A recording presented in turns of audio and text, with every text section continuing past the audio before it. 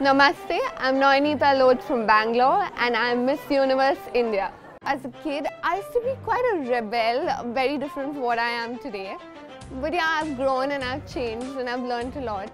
My family is very loving. My sister, my youngest sister is more like the elder one. She takes care of me and she knows where everything is in the house. And my mom uh, has always been there for us as we were growing up. And my dad, of course, has taught me a lot. So our family is very close-knit. In India, all of us are very close-knit. We always sit together for dinners and um, we just share a very personal uh, relationship with each other.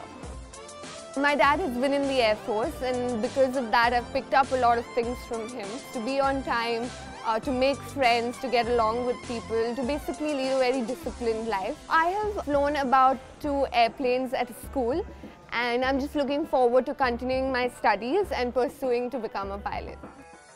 India, a lot of culture that we show through the clothes that we wear. My favorite is the golden lehenga. I love dancing and I've been trained in belly dancing. I also enjoy Bollywood dancing and Bollywood dancing is all about just enjoying the music, expressing yourself and a lot of colors and movement. Universe pageant and all of the national pageants mean a lot to us.